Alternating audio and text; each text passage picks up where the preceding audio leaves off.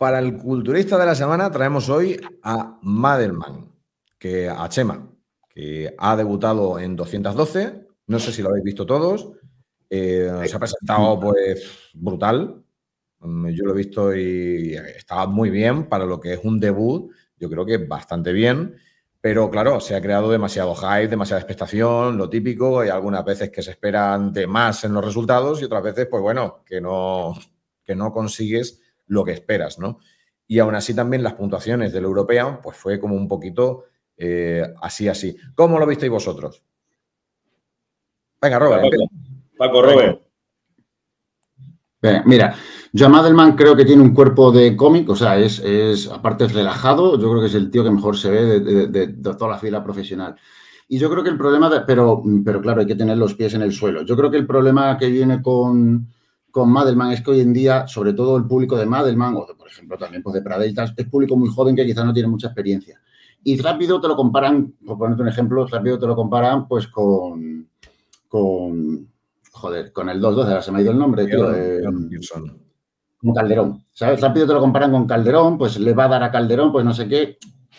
Y personalmente, a ver, para eso hay que verlos al lado y al lado uno de otro. Calderón, en mi opinión, está un, escalón por encima. Entonces, ¿cuál es el problema de las expectativas? Que cuando el público genera unas expectativas de, pues Madelman va a ganar el Pro, va a ir al Olimpia, va a quedar muy bien, tal, eh, no te estás dando cuenta que todavía no se la ha visto al lado de un Calderón, no se la ha visto al lado de un eh, gente de ese tipo. Entonces, Jamal de Malerín súper bien, pero yo creo que todavía le queda subir otro escalón en, calidad y en tamaño al lado de gente como Calderón y demás. Esto no es yo, lanzo, yo, lanzo, una pregunta. ¿De verdad lo veis eh, con mucha menos densidad que gente que le pusieron delante suya en ese campeonato? Porque yo, yo no, ¿eh? O sea, yo personalmente no. Yo no, yo pero simplemente pregunto, ¿a qué llamamos densidad? Eh, tamaño muscular. por espacio, sería. Tamaño músculo.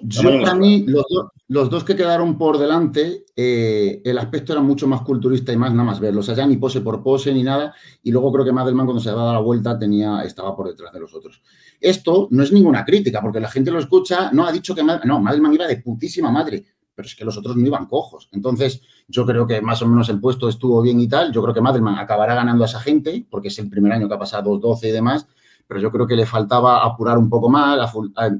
Eh, y yo le veía pequeño al lado de los otros, sí. Yo le veía un poco más pequeño.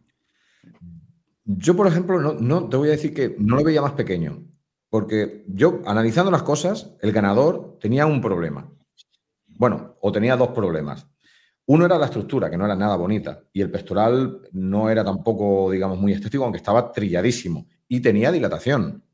Con la turra que nos han dado con la dilatación porque nos han dado muchísimo la turba. Yo, iba a preguntar eso, Luis. Iba a abrir el cajón de mierda referente al criterio, porque no, es que es verdad, tío, es que en cada campeonato el criterio es distinto. Entonces, eh, estamos hablando de estética, primordial la estética, primordial la cintura eh, bien metida, buen punto, eh, equilibrio en cuanto a densidad, amplitud clavicular, hombros anchos. ¿En qué quedamos? O sea, ahora me metes el primer. Es que el que ganó, o sea, yo veía por delante del que ganó a otro par. Igual estoy exagerando, pero yo lo veía así. ¿eh? Pero es que yo el que ganó solo le veía cuádriceps, pectoral trilladísimo, la espalda no iba bien, aunque fuera densa, pero no estaba tan trillada. Y brazos, ya está. O sea, y pose por pose, el segundo para mí era el, que era más completo. Más completo que Maderman y más completo que el primero. Y otra cosa, otro, otro punto a favor de Madelman es que al principio, en lo que pasa es que en, el, en 212 no se puntuó al final, solo se puntuó en el pre y yo al final a Madelman lo vi bastante mejor. Cuando salió en la ronda final lo vi mucho mejor. Y claro, el streaming, un desastre, ¿eh? O sea, el streaming no se veía nada, nada, nada bien. Por eso yo a Madelman sí lo vi denso, lo vi bien, pero le faltaba pulir y una cosa que yo llevo insistiendo muchísimo con él, que eh, no me puedes en un campeonato, y esto cuando lo, lo vemos muchísimos como juez, tío, tú cuando estás en el escenario, si nosotros vamos a puntuar, yo no te voy a puntuar una transición. No me puedes estar seis segundos en una transición. Tú tienes que clavar la pose y posarla bien y apretar bien. Y Madelman va a otro ritmo, tío, en las poses. a, ver, yo referente, a los comentarios estos que están haciendo que, estaba brutal, que estaba sin piel. Bueno, puede estar sin piel, pero de ahí a brutal, un tío que no es nada armonioso, que tiene una dilatación del 15 y que, no sé, sinceramente, a mí brutal, no sé, la palabra brutal no la entiendo yo así. ¿Sabéis qué pasa? Muchas veces, a lo, mejor, y, en esto a lo mejor yo estoy un poco más de acuerdo con Paco, eh, ya no es cuestión de brutal o no brutal, es cuestión de, vale, de los que había, ¿quién pones delante? O sea, el segundo se puede discutir si queda el primero o no. Pero ¿qué pones, por ejemplo? Eh, ¿Quitas a los dos primeros y pones al tercero? No cuadra. ¿Sabes lo que digo? O sea, aunque busquemos fallos al primero, la cuestión no es buscarle fallo, es los otros estaban para ganarle. Sí. A ver, el que, quedó segundo era búlgaro, ¿no? Sí, sí. A mí el, que, el que, Yo lo hubiera colocado por delante, sinceramente. A mí me pareció que, debería haber ganado. A mí me pareció que debería haber ganado el búlgaro, segundo Madelman, pero no porque fuese tanto de, punto ni nada de eso, sino porque el que quedó primero estaba con un punto extraordinario, pero en la parte de adelante. En la parte de atrás no, no tenía ni glúteos ni isquios, no se le, no se le veían, no se le separaban. Y encima el gemelo pequeño. Entonces me pareció súper raro la forma de puntuar que tuvieron. Por eso yo no puedo poner una estructura así si, si está a medias. es un cuerpo a medias. Yo lo hubiera puesto tercero. Y a Madelman segundo. Totalmente de acuerdo. Eh, ¿Sabéis lo que pasa? que muchas veces jugamos y jugamos con un streaming, un streaming con unas luces de mierda que, no puedes ver la calidad. Si ya en el streaming se ve que tiene más calidad, es porque si tú lo ves de tú a tú, ese tío está bestial. ¿Vale? Hay mucha diferencia. Eh, eso me ha pasado a mí con Jay Kaller y Ronnie Coleman. Tú ves, ves las fotos que subían antiguamente en las revistas y tal, y dices, hostia, eh, pues están muy igualados en cuanto a y tú lo veas de tú a tú y decías, ni de coña, ni de coña. Ronnie estaba otro, a otro, a tres pasos por encima, ¿sabes? Y en cuanto a Padelman, estéticamente, es que yo creo que pocos tíos hay como él, ¿vale? Eh, tiene ese músculo redondo, lo que vosotros estáis llamando como densidad, ¿vale? Es muy redondo, está músculos muy llenos, se le ve muy bien, pero no, ese no es el problema. Su problema yo creo es que tiene mucha separación porque es un tío que se le ve separado, pero no tiene esa dureza muscular, no tiene esa fibra que parece que está viva, que aprietas el pectoral y se le raya de lado a lado, no, es muy superficial y entonces esa es la calidad que realmente cuando estás cerca y lo ves, dices, hostia, es que este tío no le puede ganar, por muy bonito que sea. Yo creo que se han tirado por ahí, pero también te digo, eh, Fran, el tema de, estamos siempre comentando, el tema de hacia dónde van, cuál es el criterio. El criterio no lo sabemos todavía, el que le sale de la polla a ellos. Lo vamos a saber. Eh, o sea, ¿qué, criterio? Que estamos hablando de criterio ahora como si esto fuera. Que no, que no, que depende quieran, harán una cosa, harán la otra. Si esto es un show, ¿sabes? Pero que sí que es verdad que yo creo que. y cuando salen todos, estéticamente dices, hostia, aparte, eh, yo creo que todo el mundo que lo estaba viendo, si te dicen eh, ¿tú qué prefieres? ¿Tener el físico, el cuerpo de ese ganador con esa rocosidad, ese tal y con esa forma? ¿O el físico de Madelman incluso con tres kilos más?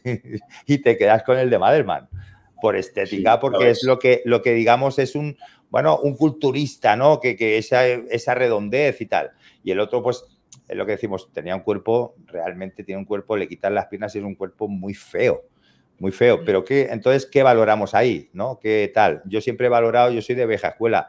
Antiguamente salías con dos kilos de más a un campeonato y sin esa aspecto dureza y, y estaba fuera, ¿sabes? Entonces, bueno, eh, no sé. Eh, Mira, yo creo, yo, yo creo una cosilla que escuché una vez que decían en un foro de Brandon Curry. Eh, Brandon Curry, sabéis que antes de ganar el Olimpia, pues bueno, era un culturista muy bonito, muy estético, pero no quedaba muy bien al principio. Hacía unos puestos decentes, pero no quedaba muy bien. Y yo oí una vez eh, a, preparadores de allí que decían que tenía un cuerpo demasiado em, estéticamente sano, o sea, daba un aspecto como de demasiado saludable. ¿Entendéis? ¿Entendéis lo que quiere decir eso? Como, pues eso, hinchadito, saludable, bonito, tal, pero que el culturismo no era eso, que el culturismo era causar impresión, ver estrías, ver esto, ver lo otro. Y yo creo que quizás pasa un poco eso. Madelman es precioso, pero claridad no es precioso, precisamente. O, o, Calderón no es precioso en ese sentido de redondito, bonito, es impresionante, son dos cosas distintas, precioso que impresionante.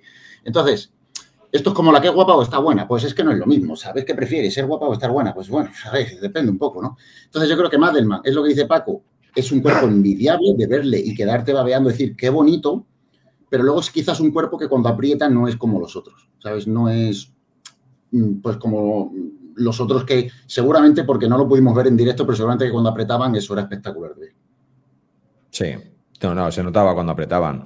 A mí lo único que me, mm, siento como un poquito disonante todo esto es el criterio de 212. O sea, si nos vamos ya al Mister Olimpia, vemos como eh, que un Pearson es un muñeco. Luego eh, tiene a Clarida, que bueno, a pesar de sus cosas locales y tal, pues eh, tiene o mantenía antes de este último año cierta estética. Y en el mismo campeonato, en el European, en la categoría Open, Presti estaba trilladísimo, porque estaba trilladísimo mm. Presti, y el que ganó no estaba tan definido, era más bonito, pero no tenía esa condición, ni tenía el, impacto que tenía Presti. Entonces yo por eso lo veo un poquito incongruente, tanto por la categoría 212 como por el mismo campeonato.